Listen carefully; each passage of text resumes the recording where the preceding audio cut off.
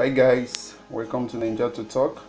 Today we'll be analyzing the, the English Premier League match that will be coming up between West Ham United and Liverpool at um, the West at the London Stadium. Um, this game will start um, at exactly 9 p.m. West African time. That is around um, 8 p.m. United Kingdom time. Liverpool will be coming into this game in order to get three points so that they will remain um, safe at the top of the log. Liverpool are first on the log with West Ham on 12 on the log.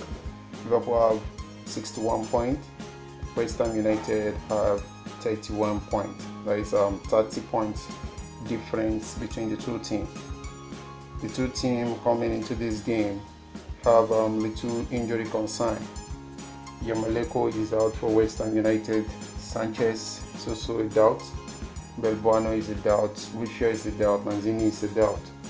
And in regards to Liverpool, Chamberlain is out. George Joe Gomez is out.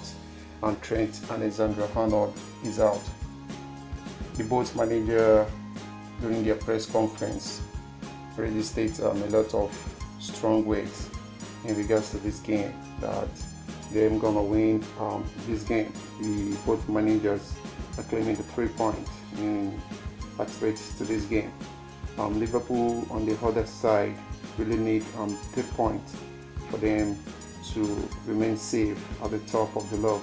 Anything less than that is a catastrophe for the team. Please do subscribe to our channel to get more latest football gist. Hit the subscribe button now.